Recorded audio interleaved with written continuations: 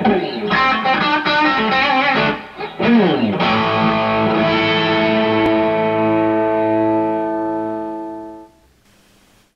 and greetings again from Reading. Today I'm going to be showing you how to change the transformer on a Fender Super Reverb.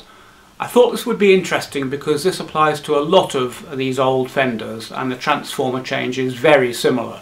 So it doesn't matter if you don't have a Fender Super Reverb, what I'm going to show you should be of interest to you. It's fairly easy just to change the transformer over but I thought you'd be interested to see where the, all the different windings go and how they connect up. So we're going to be putting in, oh if I can pick it up, this little beastie here which I got from Tube Amp Doctor for some for some hideous amount of money, like 150 euros. And uh, this is the correct mains transformer for the Fender Super Reverb, which currently is at 120 volts. It's got an American transformer in.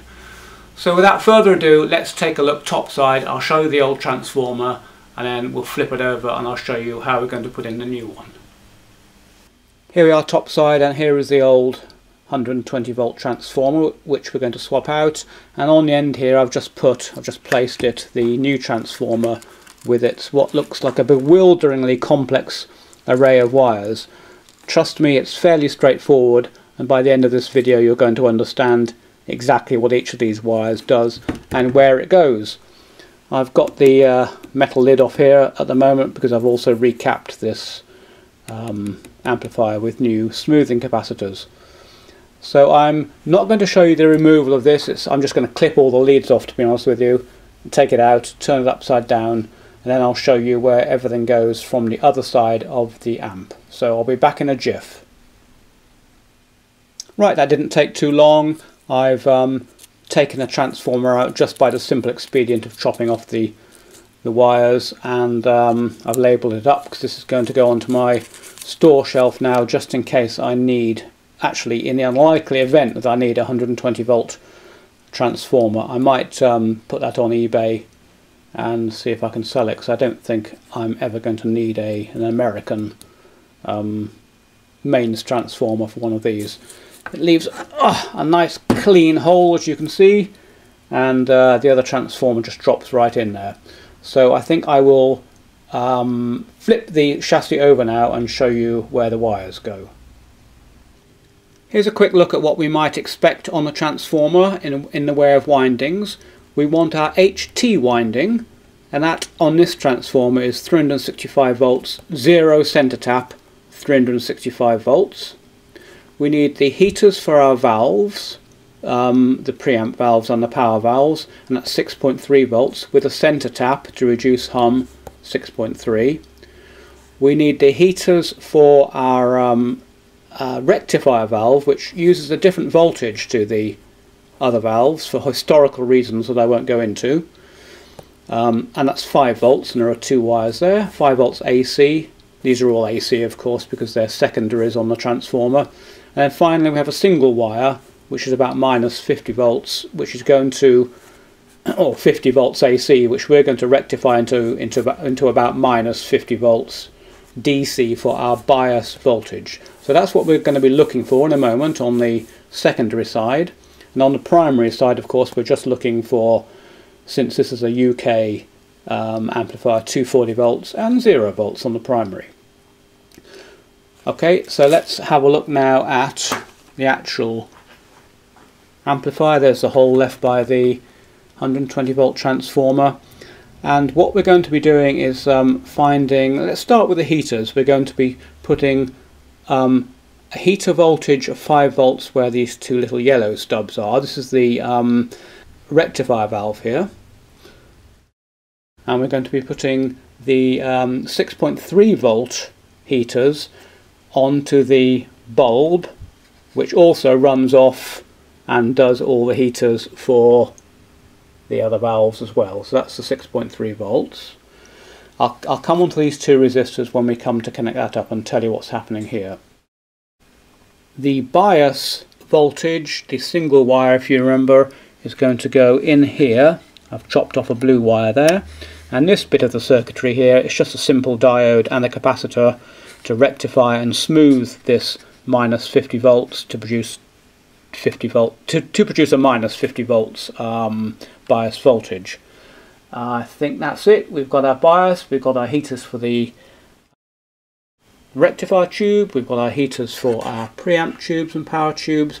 Uh, oh, yes, I know what, what I've missed. It's the HT. The 3650 zero will go to ground, and the two 365 volts will go to the rectifier valve here which really is just a couple of diodes. Think of this as a couple of diodes from here to here and here to here. I'm going to pop the transformer in here and put the bolts in so that it's nice and secure and then we can get ourselves into that rat's nest of wires and see how we go about connecting this up. Right, my plan is to do this as live as possible because it can be a little bit irritating I think if you're if you really want to know how to connect up something like this and then uh, the video keeps jumping where it's all been connected for you. So I, I don't know, maybe this might be too long a video, but I'll give it a go anyway. What we're going to do is try to make sense of this chaos of wires coming out of the uh, transformer. Of course we have um, a diagram, or not a diagram, we have a kind of crib sheet about what all the colours are. It comes with the transformer. And what I like to do is to make a start um, on the primary side, forget the secondary for the moment, so here are our primary windings. Here are our secondary windings. And get the primary connected up. And in particular, start getting rid of leads we don't want, because we're not going to want all of these leads. These are for 230 volt taps, 220 volt taps. And over here we've got some HT taps that we don't need. So I like to get rid of the wires we don't want. And um, I've got a kind of crib sheet here which I've just jotted down. On the primary side, we're after black and red striped black for, for our 240. The black and yellow is 220, the green and black is 230. So there's the green and black look, green striped black. And um, what's the other one we want? Black and yellow. There's the there's the black and yellow. So what I like to do, I don't like, you know, you don't want to be chopping them off here in case somebody actually ever wants to use these. You always want to be thinking about the next person. So I'm just going to chop them off somewhere here.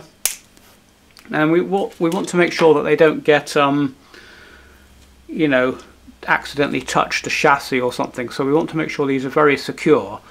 And what I'm going to do is take a little bit of heat shrink sleeving and uh, just pop that over the end about halfway along. Another bit of heat shrink sleeving.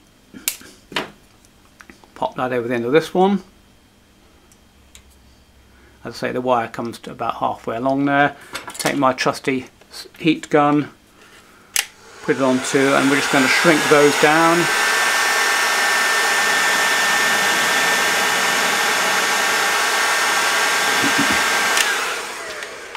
And that just insulates those wire ends there from ever accidentally touching the chassis or anything.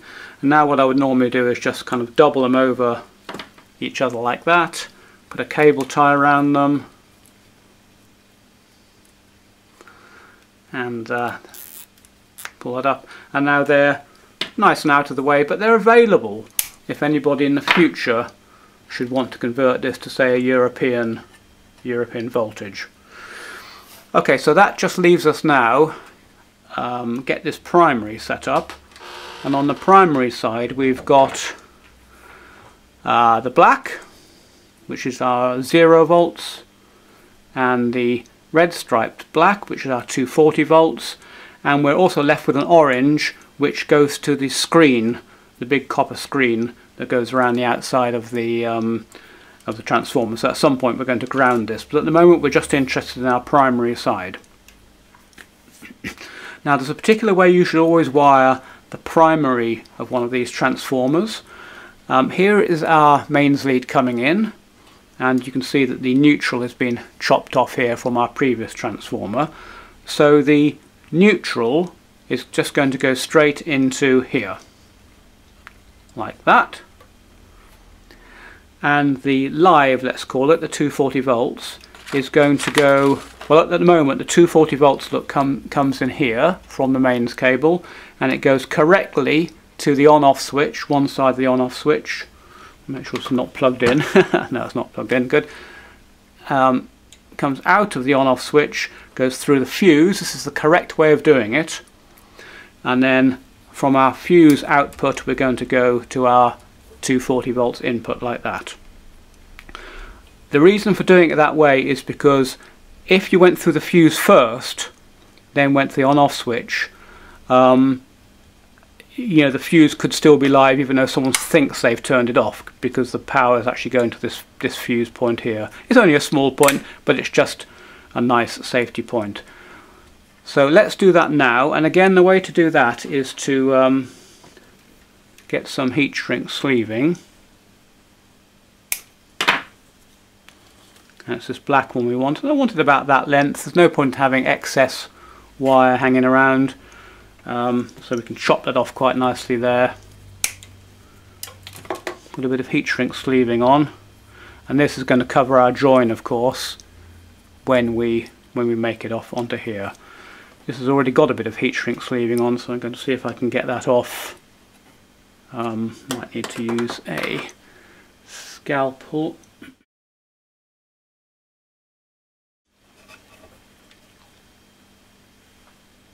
A little bit of dissection work there. There we go. And um, I'm just going to clean up that end there with a bit of solder. It's got the remains of the previous wire on so we'll get rid of that. There we go. So I'm going to tin the end of that one. Now I'm going to strip the end of this one. I always use a pair of automatic wire strippers. These are great little things really. See how that makes really light work of that. And now we'll tin this one.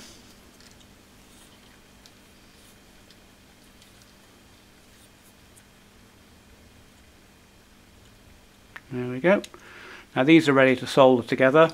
Um, I might need to get my head in there just to um, get a decent solder joint, so excuse my head for a second.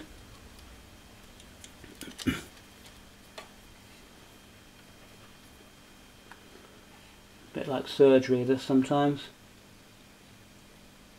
There we go.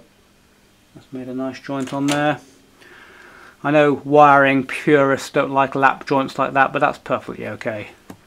Now I'm just going to slide this um, heat shrink sleeving over the top of it like that. Don't do this too quickly when the joint's hot, otherwise you'll find the, the heat shrink sleeving shrinks and you can't get it over the joint. It's very, very annoying. A little bit of heat gun. And that's that one done. Now the other primary is this red striped black which I'm going to eventually you know dress nicely here with a couple of cable ties. So let's bring that nicely around here. And that needs to go to here our um, fuse here. And it's actually about the right length. Maybe I'll chop a little bit off there maybe about, maybe about that much. So we'll chop that off there. Let's strip it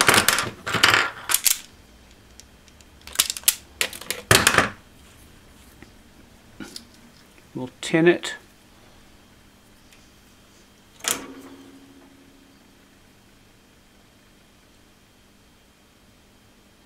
This may be more detail and more time than you want, but um, I know from watching these videos myself that sometimes I just, you know, gets a bit annoying when someone just cuts forward and they've done everything. And you think, well, I'd have actually liked to have seen how you did that. Um, now I'm just going to take off this piece of wire here which was the remains of the old transformer. And I can solder this to here. Like so. Perfectly nice joint that. And uh, we're kind of in a position now to well no I don't think I, I don't think I will start cable tying things together at the moment. Let's just leave that for the moment. At some point we'll tidy all this lot up. I might put another cable tie around here and make it quite nice. But let's not get too too hung up on that. Right, I'm going to take a quick break for the moment and um, I've been summoned into the kitchen to see what I want for supper. It's not my turn to cook tonight, so that's good. And then when I come back, we'll, we'll have a look at this lot here. I mean, look at it. There's a load there. But don't worry, because it's all quite obvious about where everything goes. So I'll be back fairly soon. Okay, back again. I've put in the supper order, so that should be fairly soon. Right, let's, let's make a start on the secondary and what looks like a bewildering variety of leads here. um, but it's not as difficult as it seems. So for example, very quickly, these two yellow ones here are the 5 volts for the heater of the um, rectifier valve. So they're going to go here. That's easy. These two green ones are the 6.3 volts for all the other valves, heaters, and they are going to end up over here on the indicator bulb because the indicator bulb is treated pretty much as another filament in, in this circuit. So that got rid of that lot. That quite clearly is ground.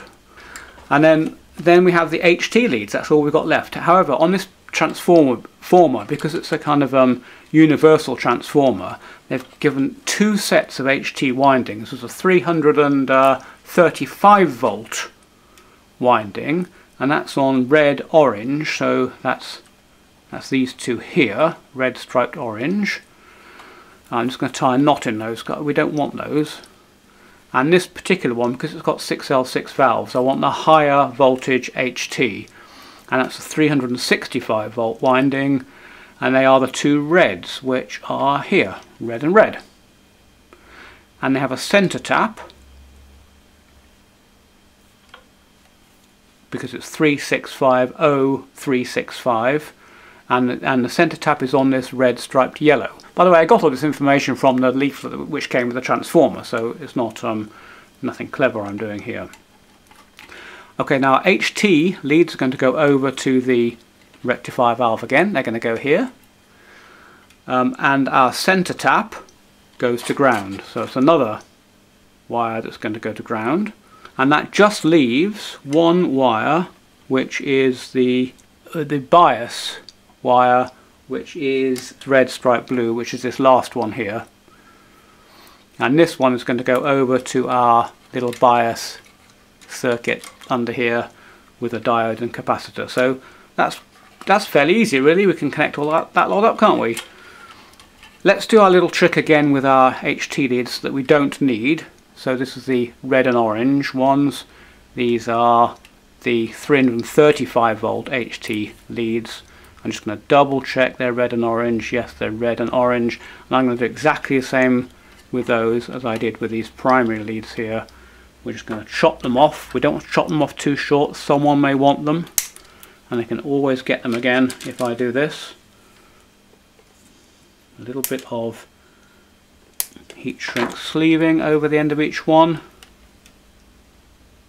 Like that just to make sure they don't, particularly with HT leads, you know, with 335 volts on, we don't want them touching anything. A little bit of heat shrink.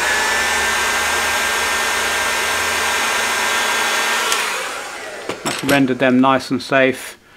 And uh, I'm just going to tuck them through here for the moment. This is just going to remind me to tidy them all up. We'll do a little lead tidying exercise at the end, I think, without getting too enthusiastic at this point. Well, what, we, what do we want to do next? Why don't we do the heater, the 5 volt heater for the rectifier valve. That's going to go on that terminal there and that terminal there where you can see those yellow wires which I chopped off from the from the earlier um, transformer. So I think I'll just give these a bit of a twist. Well, I'll, I'll, maybe I'll do that later. So get the lead length about right. That's about right we can chop those off now. Strip them with our wire strippers. One. And two. Give them a little twist. Next we want to tin them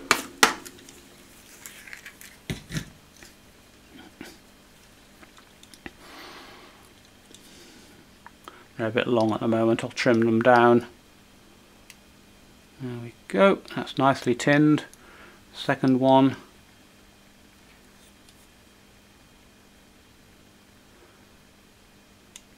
I'm making this look easier, but you know, it's just years of doing it. I guess the way I'm holding this wire with two fingers and holding the solder with my thumb and finger rather than chasing it around the bench. But uh, anyway, little technique I've developed over the years.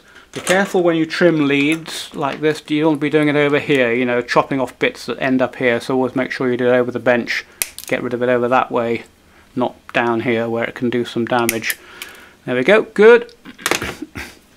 Right, so I'm now going to, um, one at a time, because I don't want to misremember, I'm going to remove this yellow wire here. Don't want to get it wrong. And then I'm just going to give these a little bit of a twist. Put them under these primary leads. And then I'm going to solder this one down to here. Again, I just might need to get my head in there a little bit to see what I'm doing.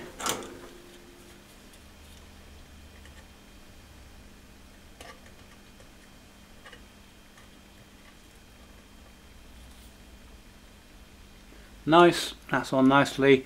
The second one goes here. I'm just going to take off this old lead. Or that other lead on there is the um, cathode, and that's the HT, would you believe, that goes out, the DC HT that goes out to the smoothing caps, where I'm soldering this lead now. There we go.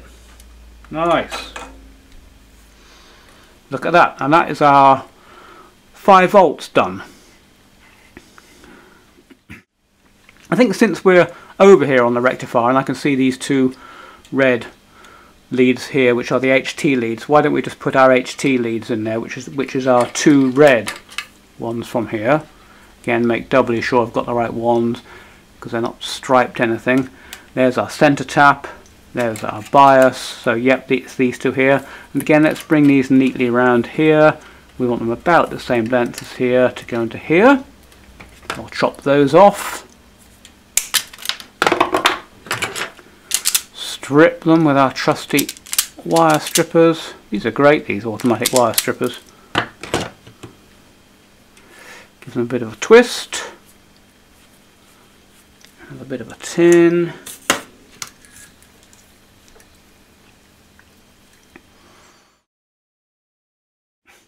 I'm old-fashioned enough to be using lead solder here. I can't stand this new modern stuff, this lead-free stuff. It just doesn't work as well in my book.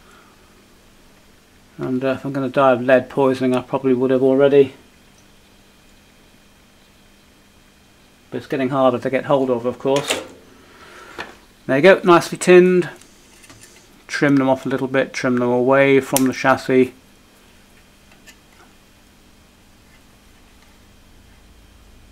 There, like that, good. Now I'm going to take off one at a time these two little red tags here so that I don't forget where the leads go. Here's the first one coming off. May as well twist these as well. And let's put our first one on.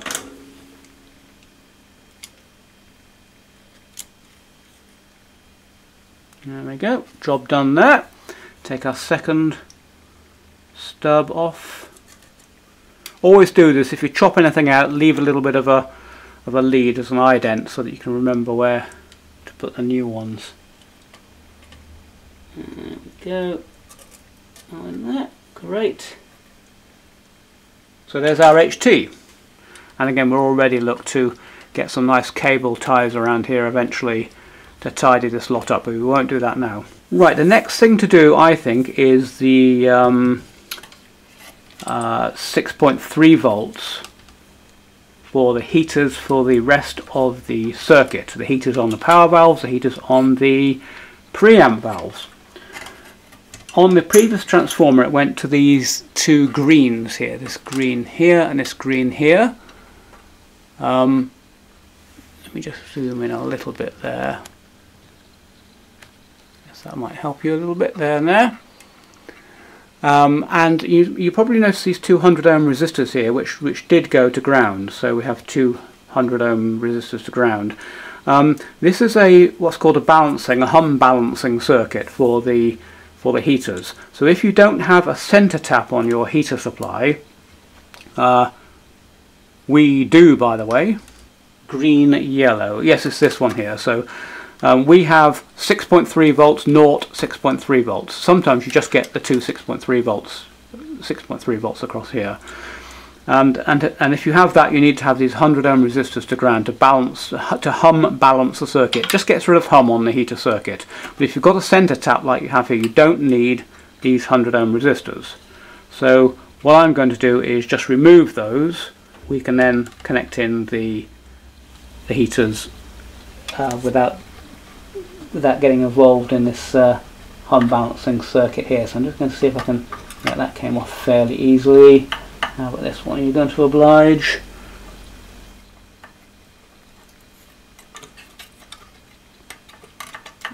That one doesn't want to oblige, so I'll just chop that off ruthlessly.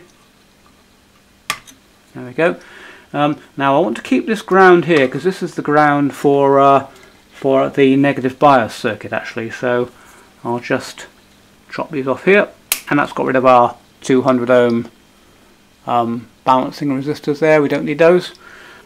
We are now in a position to take our two 6.3 volt windings and connect them in to here. By the way, here's the two wires going off to the rest of the heater circuits. And don't forget we'll also be grounding this one to give us our, our hum, hum balance. So let me get these about the right length. Uh, I think, yeah, kind of that will do. Chop them off. Strip them with the old wire strippers.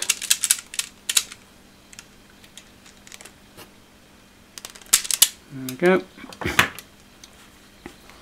Give them a bit of a twist. We're getting there really. We're, we're nearly done. Not too far off. We've got the grounds to do and the bias to do. And we're close to being able to turning it on and um, doing a little bit of a test. So let's um, let's, let's uh, tin these now.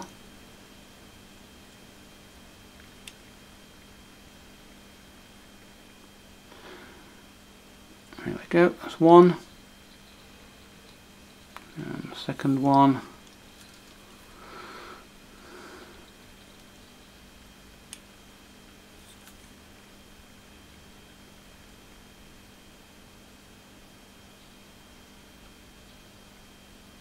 There we go, good. That's excellent. Now I'm probably going to get my head in the way just whilst I do this, so, so do excuse me. There we go, they're both on. And again, we're in good shape here to bring these leads around here and dress them nicely and make it all look pretty. So I'm not going to pick up my ground from from here by putting this tag on here. In fact, you know what, I don't like doing that anyway particularly. It's not a great way of picking up a ground because these nuts get loose over time, years go by and, and you lose your ground and losing um, a ground connection can be quite um, you know, very serious for an amp. So I'm going to um, take this over here and have a common ground um, here uh, for all these different grounds we've got. Um, right, now let's have a little think what we're doing. Oh, okay, so the only other, apart from grounds, the only other connection we've got to do is this red striped blue, and this is our 60 volt or 50 volt winding tap which goes over to our bias um, circuit here. Underneath here is a diode and a smoothing capacitor which you can just see there and that produces the, the minus 50 volts DC um, for the bias of the power valve. So this needs to go, um, you won't be able to see it and I don't really want to take the camera down off its overhead just to show you but it, there's a little connector connection in there just where my finger is um, which I'm going to connect this to now. So let me get the length right on that. And uh, about that length yeah. Again the usual old thing cut it off strip it. And uh, where are we? Where's my solder? Here we go solder, or tin I should say. Okay, now I'm just going to stop the camera for a second whilst I do this because all you'll see is my head. And this has been quite a long take anyway, so I'll just stop it now and I'll rejoin you in a sec. Okay, so I've been having a little think here and I realised I've got quite a few grounds here. I've got this one, I've got this one here, we, we need to bring this uh, bias uh, ground around here. We've got the center tap for our HT. we've got the center tap for our 6.3 volts and we've got the orange which is the screen which wraps around the um, the outside of the transformer so um, you know to solder all these down onto the chassis here would be fairly tricky so what I've done is I've just made up a little bit of tag board here which I'm going to solder down there um, I've joined them all together so the ground comes up to here and these are all joined together with a bit of wire. Uh, I've tinned the bottom of this ready so all we need to do is to solder that there. Now I say all, this is not an easy job, um, in fact it's actually impossible with an ordinary kind of soldering iron. So I'm going to show you how I do that and uh, you can see how we managed to solder to the chassis. Now to solder onto a chassis, you don't want this. No, no, no, that won't do anything. What you need is this. Now that's what you call a soldering iron. I picked that up, um, I think for a couple of pounds in a car boot sale. I've got several of several of these, great. And um, you'll never touch it with an ordinary soldering iron. So let's just see how this does on here. I might need to show you a little trick uh, to, to, to help with this but let's just see how we get on with um, just applying some heat directly here. Takes a little while obviously to heat things up and even this is struggling of course the reason is you've got a massive heatsink here with um, with the chassis. It's just sucking the heat out. Okay, well this is a good time to show you the trick. I'm just going to leave that over here to heat up a little bit more. It's not actually quite fully hot yet. Okay, again this is something you should you should really own. It's a um, I've got it's a Steinel 1800 watt heat gun, but yeah, there are loads of them around. Um, a paint stripper actually is fairly good, although it's not so controllable as this. This has got various uh, settings on it.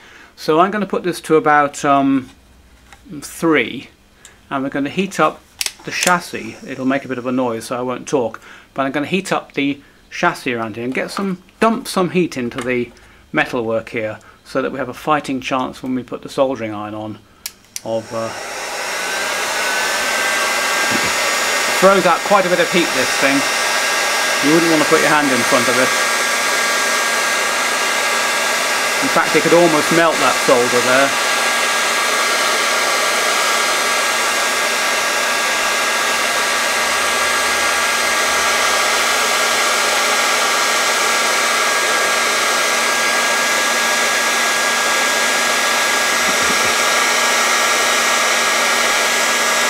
Yeah, that's really dumping some heat into that chassis. Now I'm going to quickly grab my soldering iron and see if having done that that has made a difference. And look at that, that just comes straight off there. Absolutely perfect. Wonderful. A bit of luck, we can pop this on on here.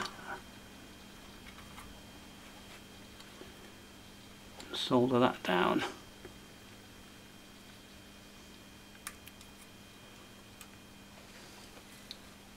Give it a good old tug, make sure it doesn't, you know, just flip off there yeah, that's on there really solidly.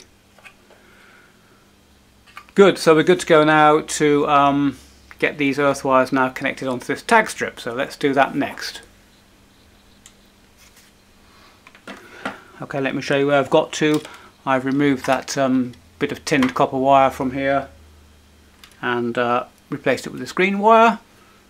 We have our other grounds, that's the screen, this is the center tap for the HT, this is the center tap for the 6.3 volts. We have this which goes off to the circuit somewhere and we have the earth coming in from the power cord. So we have all these six, six wires which are all going to join down into our tag strip here. So that's our next task.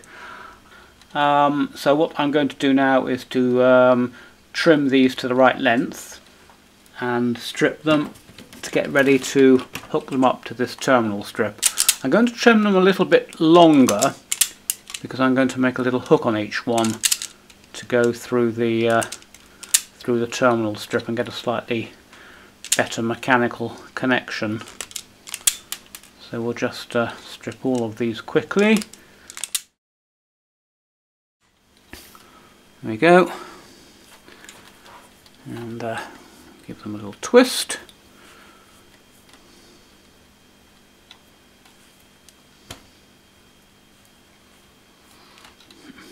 Um, yeah, I'll sort that one out in a minute and that one's not too bad in itself. Okay, so I'll, I'll tin these now.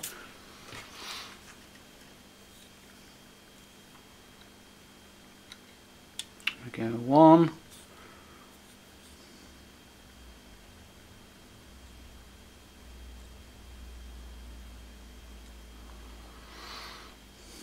This is called Slow TV, where you can get yourself into a mindfulness moment watching me solder leads. I quite like slow TV. I'm not a great fan of all these half second jump cuts where you can't concentrate for more than a quarter of a second without something happening on the screen.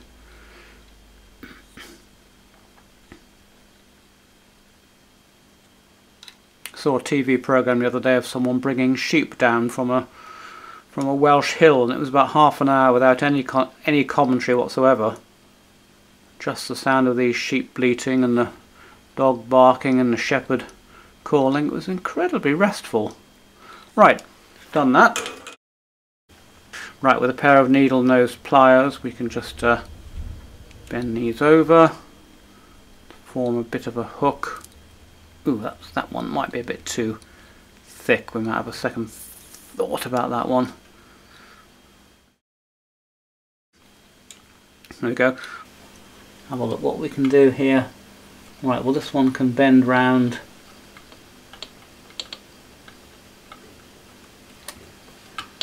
you can see this one can bend round a tin copper wire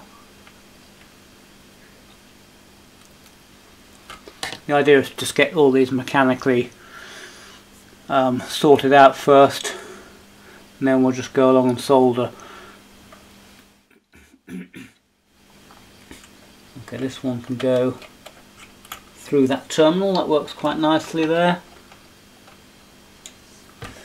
what else have we got this uh, green one's quite thin, so that can might, might go through that terminal too. We're lucky. Yep, that goes through that one as well, good. That saves us a terminal. What else have we got? Um, this is quite a thick one, this um okay. Will that go through there? It's quite thick this one. Yeah, that, will go through there, that's good.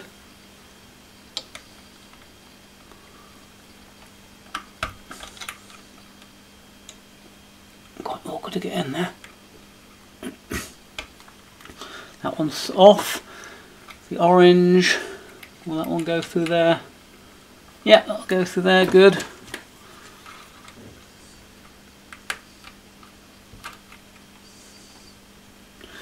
and that will just leave the this earth one here which I think I'll solder on at the last moment. So have we got them all? We've got one, two, three, four, five and the sixth one. Yes, yeah, so I'm going to go along and solder those and I'll pop this one on last. Go.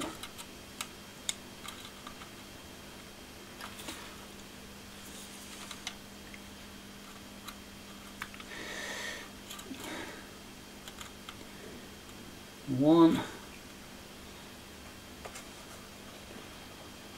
Mustn't forget this around here. That's it, good. So that's those three done. We'll now do this big one here. Okay, good. And then this one here. There we go. That's all of those done. And now I think, Right, let's trim that up a bit. I'll just tin it again.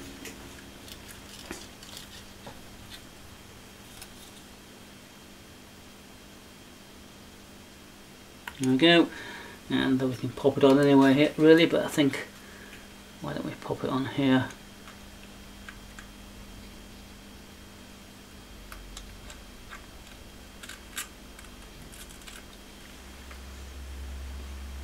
There we go. So I make that job done in terms of all the connections. What we'll do now, I think, is to uh, tidy up a few of these with some cable ties and then we're ready to do some testing. I suppose really I should do the testing before I do the cable tying but I'm reasonably confident we don't have to worry too much. So it's just really a matter of um, making this look as nice as you can with a few ties. There's no real rhyme or reason to this, it's just a neatening procedure. You don't have to keep any particular cables with with other cables or anything like that. And what can we do with these? I think these can go down. I think we'll just pop a... These do actually belong with these green ones here, so we may as well put those together.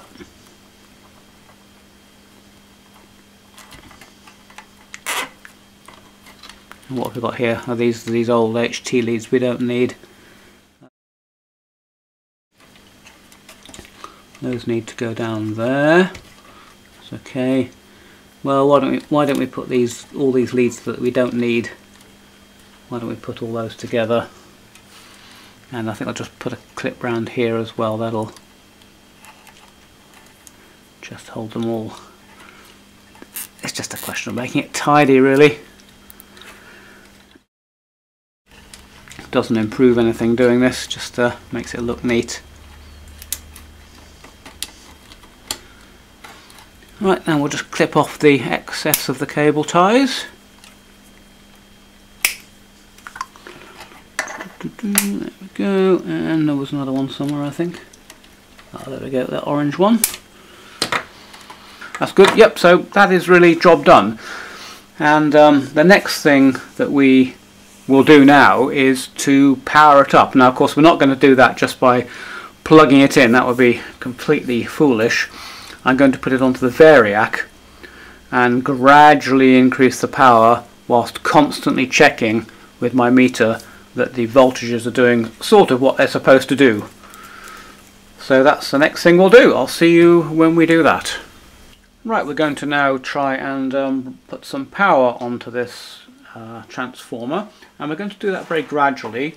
I've got it plugged into a Variac over there. I'll, I'll, show you that later on, but it's just a, you've seen it before, it's just a dial which allows you to wind up and down the AC. At the moment it's at zero. So we obviously don't want to just apply full power to this in case we've got something wrong um, with the winding connections and it would be disastrous. So I'm just going to turn it up a little bit to about, I don't know, about 30 or 40 volts on the AC input. I'm going to select my meter to AC and I just want to check around a bit to make sure we've got the kind of AC voltages which I would expect. And we can't do too much damage at 30 volts coming in as opposed to 230. So on the 5 volt heater winding for the um, rectifier valve I'd expect to see, I'm not really sure, half a volt or something, I'm not quite sure what have we got here. Let's put this down to 20 volts. Well, we've got 0.6 of a volt, so that's fine. Don't forget we're expecting 5 volts, but we've only got about 30 volts going in. On the um, other heaters, the 6.3 volts, I'd expect to see maybe a little bit more than 5 than, than we had there. And we have indeed got look 0.78 volts, so that's good, AC. On the HT I'd expect to see a lot more, not quite sure what, maybe 50 volts, no idea really. Let's have a look, see what we've got here. That's gone into overload, more than 20. That's quite high actually. So we've got nearly 100 volts already on the HT at um, just 30 or 40 volts in. And um, on our bias winding, again I'd expect to see a volt or two, not really quite sure. So we'll look, that's down here. Um, oh, we've got a bit more than that, 5 volts or so. I'm happy with that. I'm just going to, just now going to wind it up a little bit more. Maybe that was on 50 there. I'm now going to put up to, let's put it up to 100. So with 100 volts in again, we'd expect to see, I don't know what, 2 or 3 volts on the on the 5 volt winding. Let's have a look, see what we've got.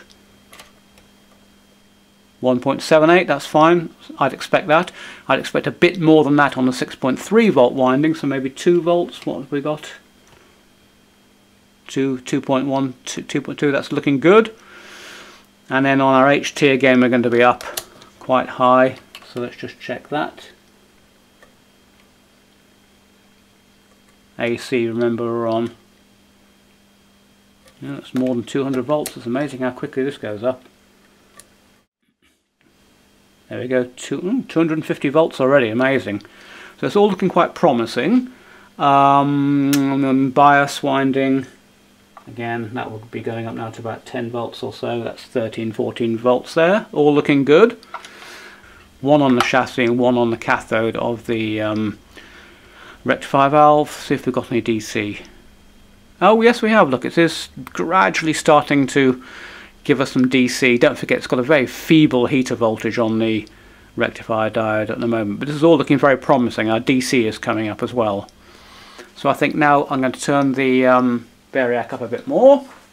We're now on 150 volts roughly coming in and uh, so let's see how our DC is doing again since we're still on the DC scale and look that's up to 260 volts DC so this is all looking quite promising.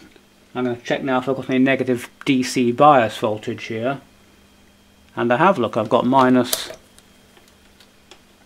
31 volts on the DC bias, which is great. That means our output tubes aren't going to cook. We're pretty much full there on the variac. So let's see how our DC is doing. 430 volts DC, lovely. I'm liking that. Our bias voltage is um, minus 49. Don't forget this is the, the, the raw bias voltage. This will be potted down to give us the bias voltage which drives the actual um, grids of the output tubes. That's all looking good. What else do I want? I don't think I want anything else pilot lights on you can see that glowing That's how amazing isn't that fantastic and um, everything's working fine the next thing will be for me to bias the output tubes just to make sure they are correct but um, that's job done we have installed a new mains transformer wired it all up tidied up the wiring and I think you can see now that it wasn't too difficult. You can see where all those wires go now. 5 volts for the heaters, 6.3 volts for the other heaters, HT with a center tap, and, um, and the bias winding give us our negative bias. There you go. So I'm going to call that a wrap because it's getting late and it's time for my bed. Well, I hope you enjoyed that one as much as I did. I quite enjoyed the slower pace of that and getting that transformer in, going through the connections with you one at a time and actually soldering them in as you watched. I hope you didn't find it too tedious and um, it's nice when it goes so straightforward and works when you power it all up. That's always a bonus. Well, thanks for watching and I'll catch you on the next video.